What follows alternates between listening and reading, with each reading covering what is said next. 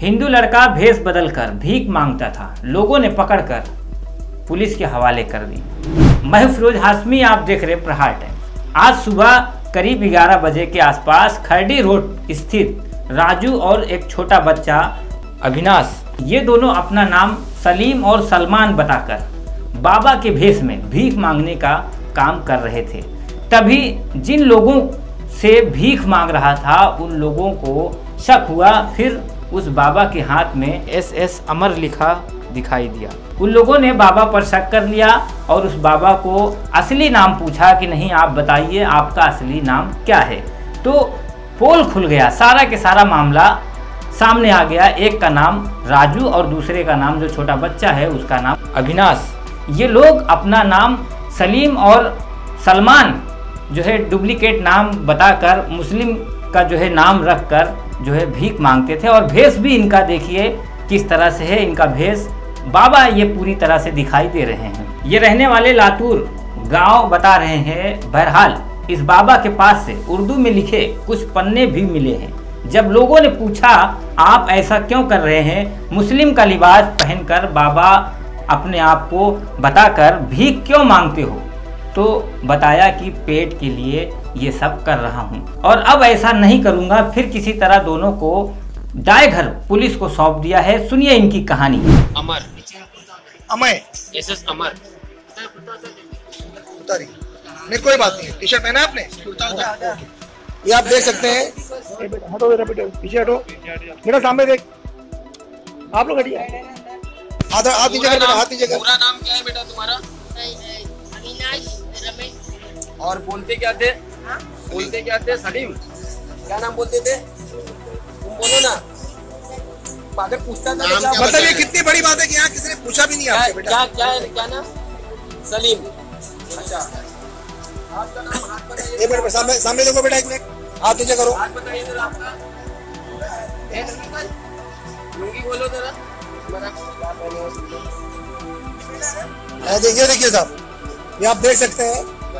इनकी रिकॉर्डिंग क्या नाम है तुम्हारा पूरा? ये देखिए। नहीं बताने वाला नाम क्या है? नहीं जैसे अभी बताया मुस्लिम नाम क्या बताते हाँ? सलमान। बताओ इधर देखो। बाइक हो बाइक की चाबी। ये बाइक की चाबी भी इनके पास से मिली है। और ये लोग और मस्जिदों के पास दरगाहों के पास जाकर के जो है मस्जिदों और दरगाहों के पास हटो करके हटो जरा। दुआ तावीज। ये देख सकते हैं कि इनके बैग में ये दुआ तावीज की बहुत सारी ये आयतें भी हैं इनकी बेद भी हो सकती है। ये आप देख सकते हैं अब ये अभी अगर ये मामला कहीं और का होता तो फ़ौरन मामला बहुत गड़बड़ हो सकती बहुत खराब हो सकता था माहौल खराब हो सकता था बहरहाल। हम लोग यहाँ पर इनको छूट दे रहे हैं। कंप्लेन एक डाल दो भाई। रहा हूँ। हाँ। हाँ आप देख सकते हैं नाज़रीन ये सब। देखिए ये तो तुम्हें, ये तो आस्था, ये आस्था को ठेस पहुँचाने वाली चीज़ें हैं। आप देख सकते हैं कि ये इनके बैग से ये भी निकल रहा है। जिसकी जिसका बड़ा एहतराम किया जाता है और ये गुस्ताखी की बातें भी हैं सामने।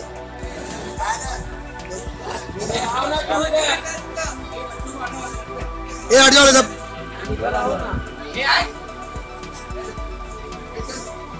ये दोनों अरे छोड़ देगा अरे तो कपड़ा लेके मैं बोल रहा हूँ दिल्ली के अंदर हमारे मुसलमान भाई आलू प्याज बेच रहे थे उनको कुत्ते के मौत मार मार के जान ले लिए ये मोदी के आदमी। नहीं अभी ये लोग यहाँ मिले हैं इनके बारे में आप क्या बोल इनके बारे में ठीक है भाई गरीब हैं। अब ये कैसा भी इनको मोदी ने भीख मंगवाने जोगी आदित्यनाथ सिंह गोरखपुर के बराबर? वो भी अपने पंदे से भीख मंगवा रहे यूपी में और यूपी वाले को पानी चलाना भारी कर दिया जोगी अनंतनाथ सिंह। किसान के ऊपर अंधेर किया है। नहीं जैसे भी हम ये देखते हैं चाचा कि जब उन, उन, उनके इलाके में कोई पकड़ा जाता है तो बहुत बुरी तरह मारते हैं अरे मेरे आदमी कुत्ते मौत मारते हैं भाई, जान ले लेते हैं। पानी दिया गया है बिल्कुल सही। इंसान है बेचारे तो इंसान हैं? इनको नहीं मारना है। क्योंकि हमारे मज़हब बोलता है ठंडे दिमाग से। हमारा इस्लाम बोलता है कि इसको मारो मत। सब एक उम्मती अल्लाह की उम्मती। देखो पंच हो। सब पंच हो यहाँ पे। अब पंच के हिसाब से इसको क्लियर कह दिया वो भाई मारो पीटो मत। मेरा धर्म इस्लाम नहीं, मेरा सच्चा नहीं। एक मिनट रुकिए चाचा रुकिए। हाँ। बाबू किसी ने आपको मारा पीटा? नहीं कोई नहीं मारा। है कोई नहीं। अच्छे से बैठाया आपको खाली हाँ, बिल्कुल सही। किया ना आपका? हाँ। अब बोलिए अब- मतलब जाने दे रहे हैं। आप लोग जाने दे रहे हैं तो जाने दो भाई अपना असलम। अपना हराम अपना इस्लाम ठंडा मज़हब है। बस इनसे यही कहना है कि आप अपने वेशभूषा अपने भाषा में रहो। बिल्कुल सही। हमारे इस्लाम को बदनाम मत मेरे मज़हब को बदनाम मत करो वही मैं बोल रहा हूँ।